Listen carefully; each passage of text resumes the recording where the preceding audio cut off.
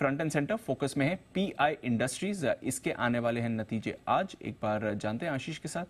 क्या अनुमान लगा के चल रहा है बाज़ार? आशीष बताइए पीआई इंडस्ट्रीज़ दीपांशु काफ़ी अच्छे नतीजे। इनफैक्ट अगर केमिकल एग्रोकेमिकल स्पेस में अगर आप देखें तो बहुत अच्छा है। सिर्फ़ एक ही दिक्कत है कि मार्जिन अगर आप देखें तो यहाँ पर एक्सपेंशन नहीं है।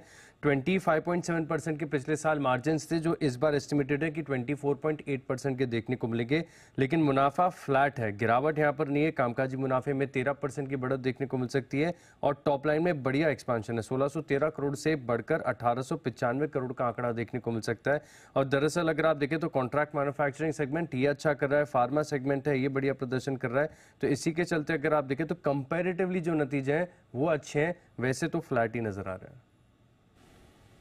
तो पीआई इंडस्ट्रीज़ ये है फ्लैट नतीजों का क्वार्टर देखते हैं। कैसे रहते हैं नंबर्स लेकिन नंबर्स के दम पर दीप काफ़ी स्टॉक ऐसे हैं, जहाँ पर एक्शन होता हुआ दिखा, देखिए, जैसे कि आरती इंडस्ट्रीज़ हम कह भी देते कि नंबर्स दिख रहे हैं खराब, लेकिन इंडस्ट्री के लिहाज से आप देखेंगे तो खराब नहीं और निचले स्तरों से एक अच्छी रिकवरी आई है।